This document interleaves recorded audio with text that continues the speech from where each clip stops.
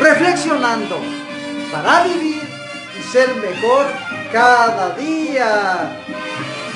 Los pescadores saben que el mar es peligroso y las tormentas terribles, pero nunca han permitido que esos peligros sean suficiente razón para permanecer en tierra.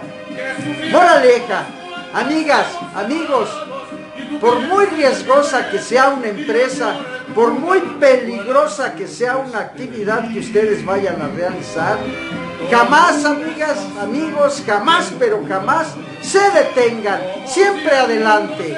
La vida, esta vida está hecha de peligros a los cuales hay que sortear.